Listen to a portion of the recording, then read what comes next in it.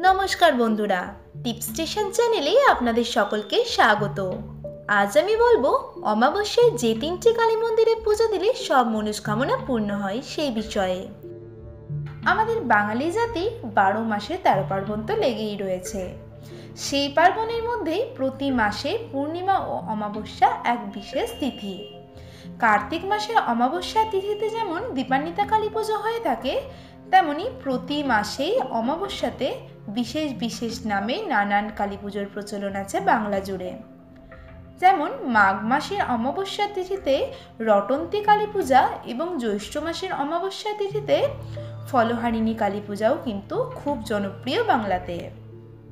বাংলার বিভিন্ন প্রান্তে এমন কিছু কালী মন্দিরের প্রতিষ্ঠা আছে যেখানে গিয়ে এইসব তিথিতে ভিড় জমায় বহু ভক্তরা ও পুজো দেন মনস্কামনা পূরণের জন্য। আজ ঠিক তেমনই তিনটি কালী মন্দিরের কথা আপনাদের বলব। যেখানে গিয়ে যদি অমাবস্যা তিথিতে পুজো দিতে পারেন, তাহলে আপনার মনোবাঞ্ছনা সত্যিই পূরণ হবে। তো সেই তিনটি মন্দির সম্পর্কে জানতে ভিডিওটি মনোযোগ সহকারে শেষ পর্যন্ত দেখুন। আর এমনই সব দুর্দান্ত ভিডিও টিপস নিয়মিত পেতে আমাদের চ্যানেলটি এখনই সাবস্ক্রাইব করুন ও পাশের বেল আইকনটিতে ক্লিক করুন।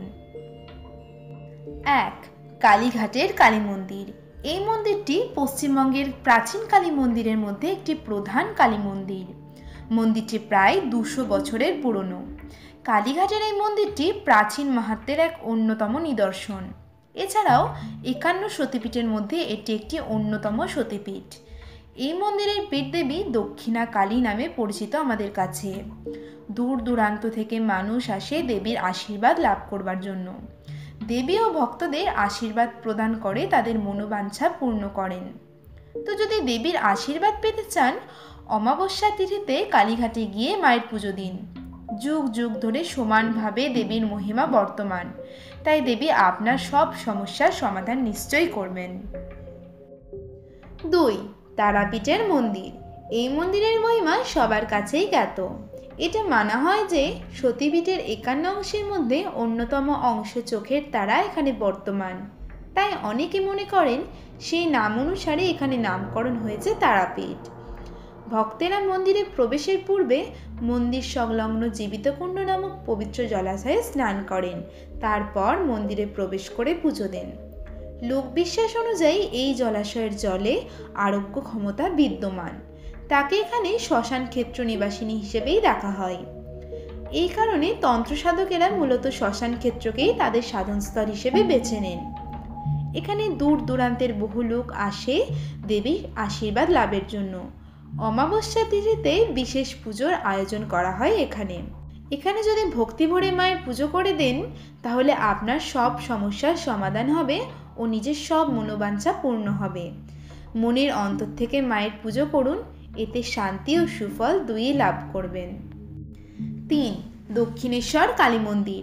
ভারতের একটি অন্যতম তীর্থস্থান হলে কালী মন্দির। এই মন্দিরটি দেবীর স্বপ্নাদেশ পেয়ে নির্মাণ করেছিলেন রানী রাসমণি। কথিত আছে, আঠেরোশো সাতচল্লিশ সালে কাশীধামে যাত্রা করবেন বলে মনস্থ করেছিলেন তিনি। আগের রাতে স্বপ্ন দেখেন, দেবী তাকে বলছেন, কাশি যাওয়ার কোনো প্রয়োজন নেই। গঙ্গা তীরেই আমার মূর্তি প্রতিষ্ঠা করে পুজো কর। সেই মূর্তিতে আবির্ভূত হয়ে আমি তোর পুজো গ্রহণ করব।